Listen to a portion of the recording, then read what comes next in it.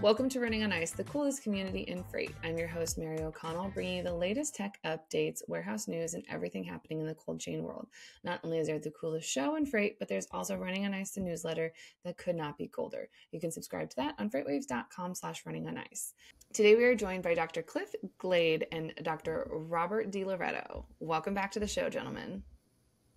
How are you, you doing?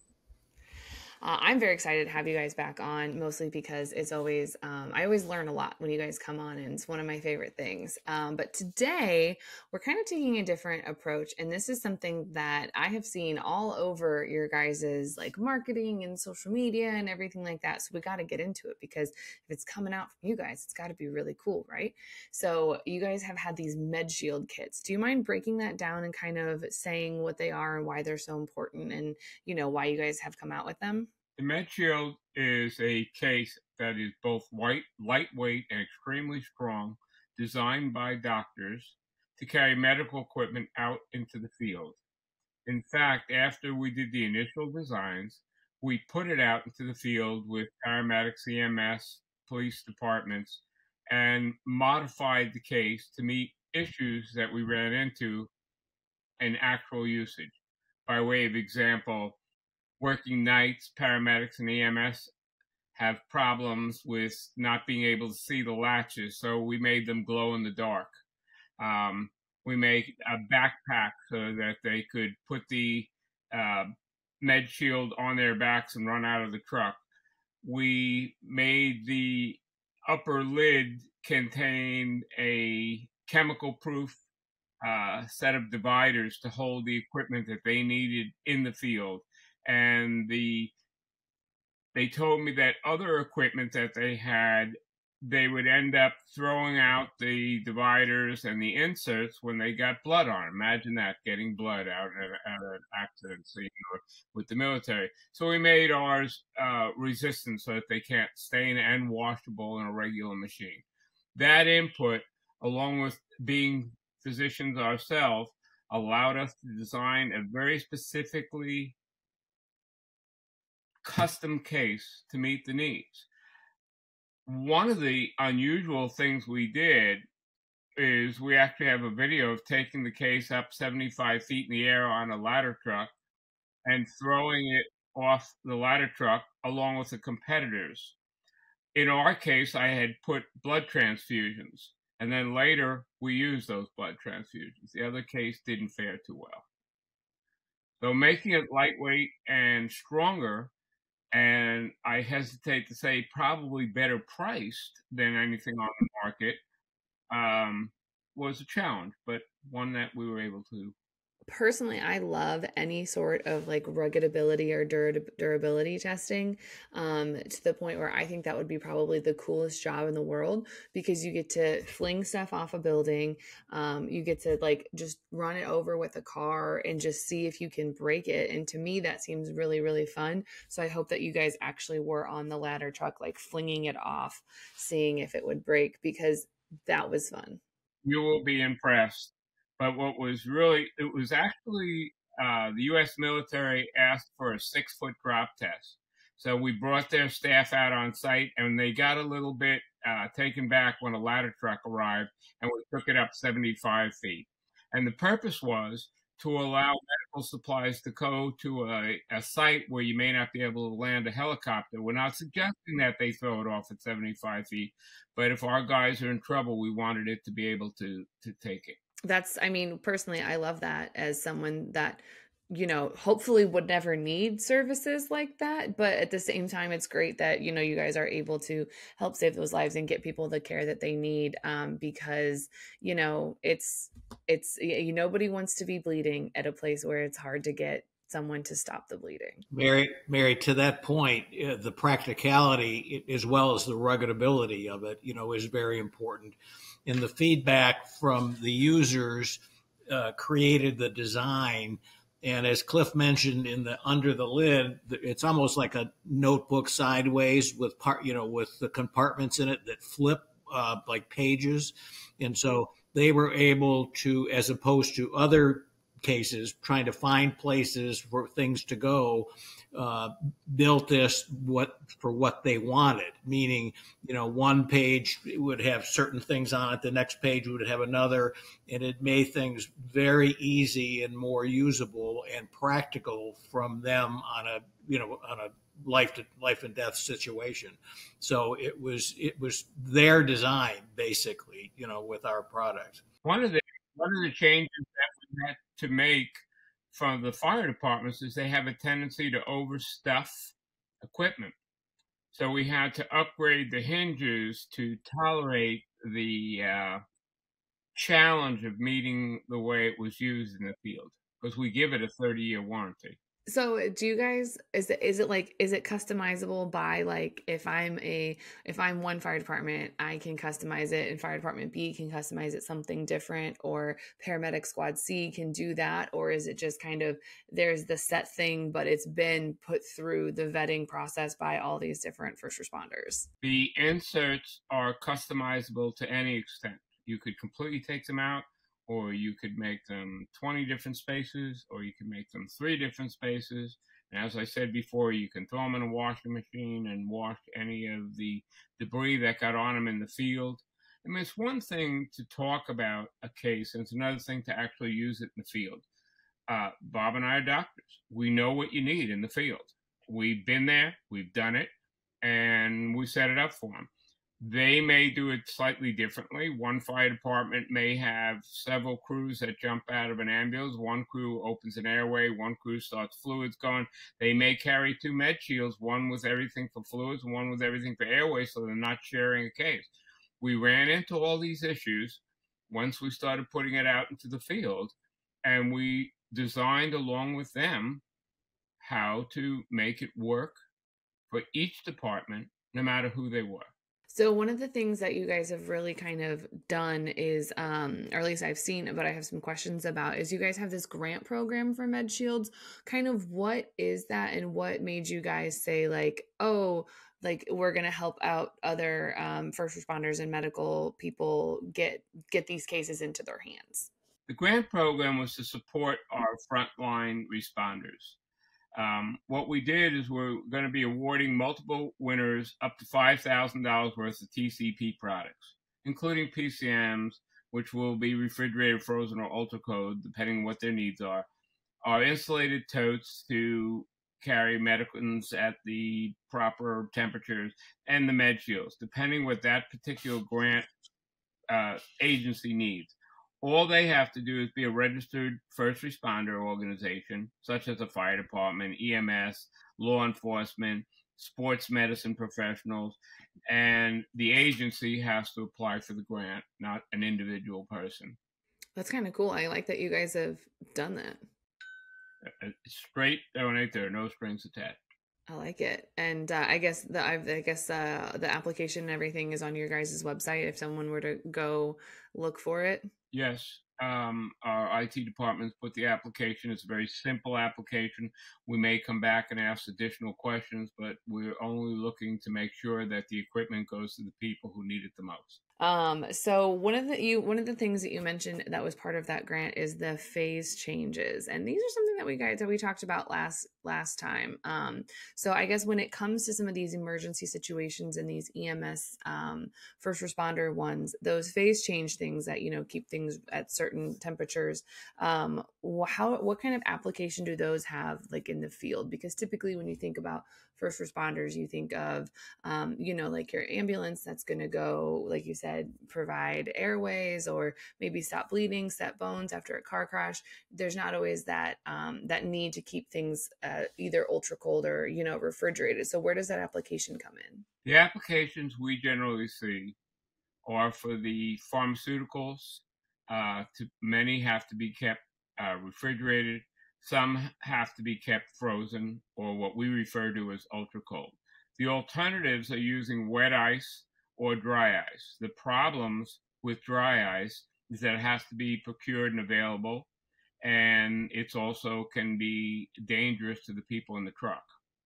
Uh, the problems with wet ice is I'm not sure how you sterilize it.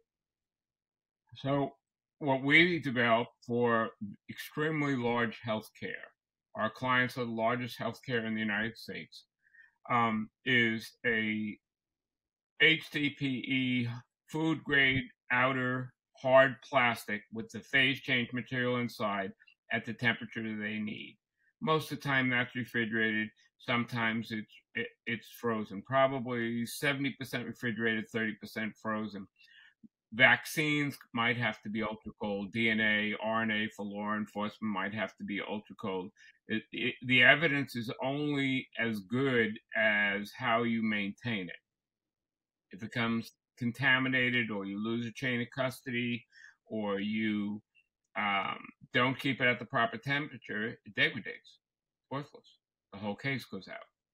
I think that, uh, especially when you talk about that evidence and that chain of custody thing, that's, I mean, that's really important and crucial because if, like you said, if something happens or that sample degrades, then that's potentially, you know, long term legal ramifications or, you know, potentially someone who committed crimes can't get put away um, for their crimes that they've done because the DNA got messed up. So, um, you know, lo- love that application. Seems pretty straightforward.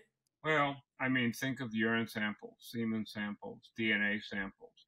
If it's if it's not protected and handled properly, an attorney is going to attack that, and maybe some very evil people get back out onto the street, not because they didn't do it, because there's a loss of chain of custody or the sample that was taken was destroyed due to temperature.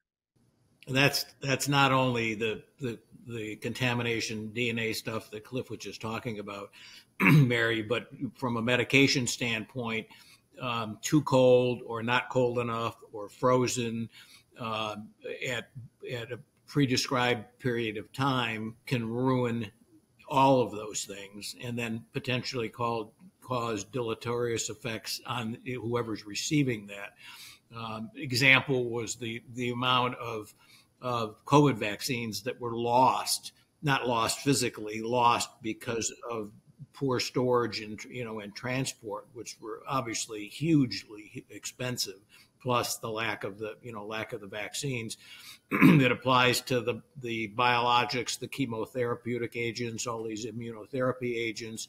It's it's this it's exactly the same thing interestingly enough, and we're not involved in this, but I did as a practicing physician uh, do a fair number of organ transplants, and as a as a urologist, that happened to be kidneys primarily.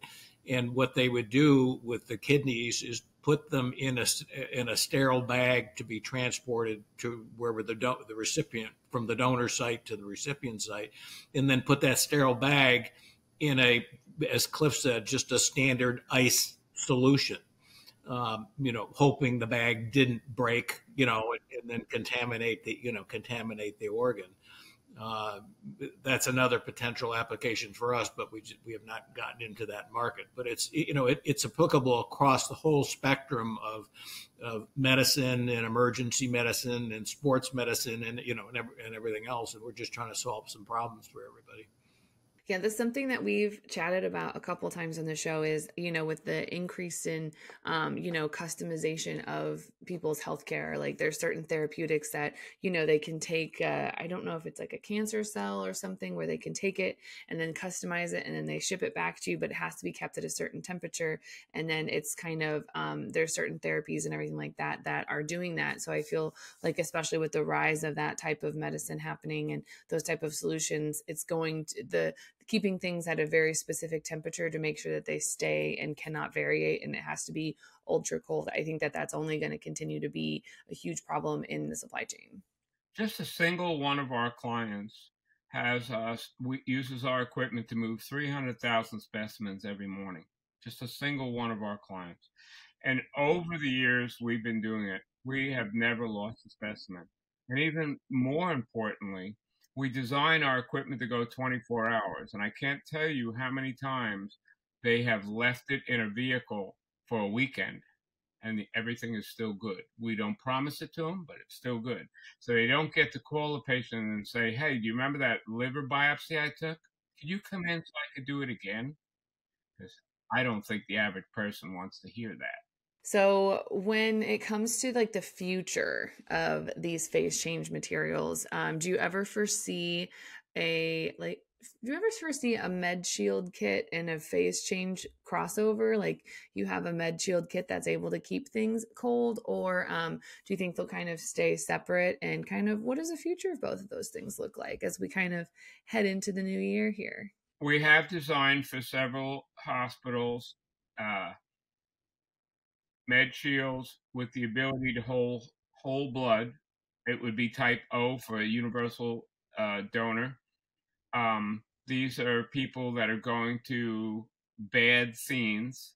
We have designed it for the military. You've heard of the golden hour.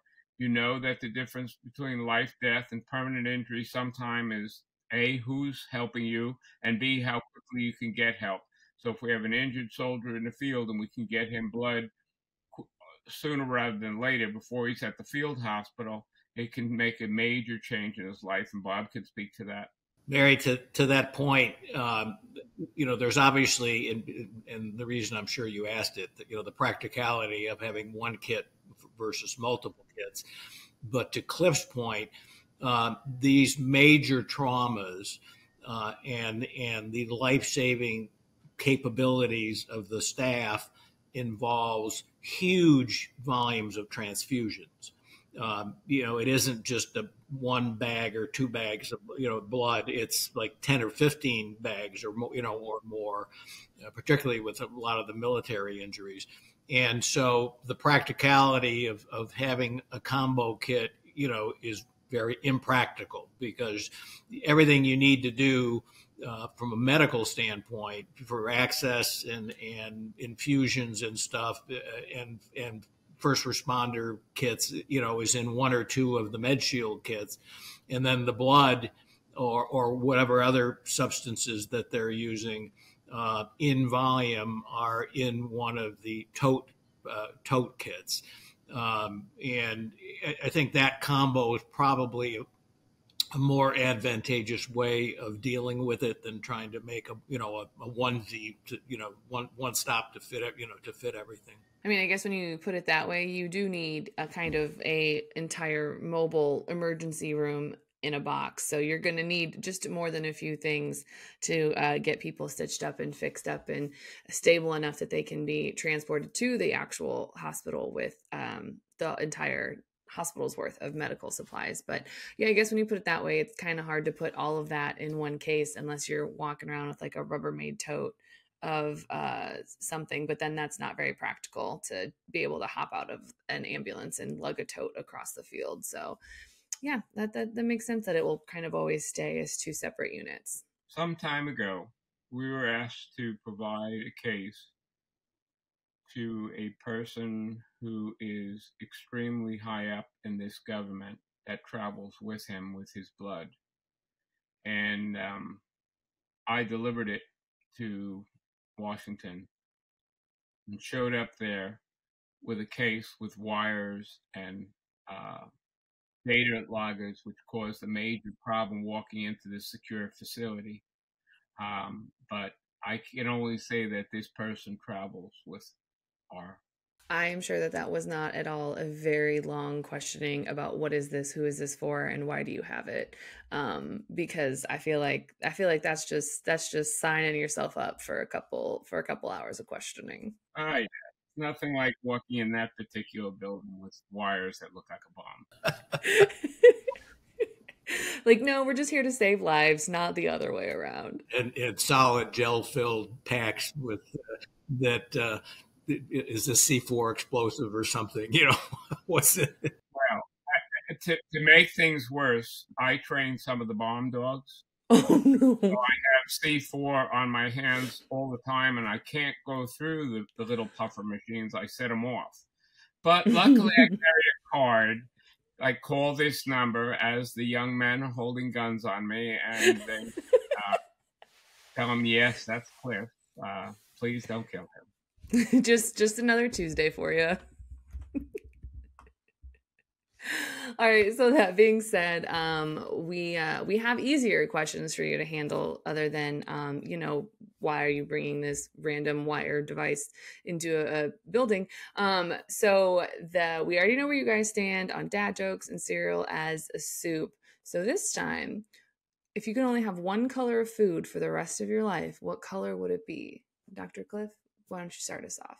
Red, because I'm an adventurous, outgoing guy. Okay.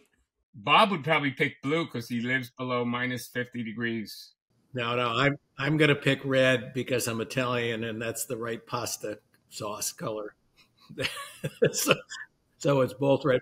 Well, I mean, I guess you technically could have pasta if it's all wrapped up in red because it's you're still eating red. But then I, I actually have one back for you. You you since it's Christmas time, and and we went through the dad jokes one. I just got one from one of my nine grandkids. Why? What what did the elves say when Santa got stuck in the chimney? What did they call him? They call what they call. I was gonna say ho no, but no, they he was claustrophobic.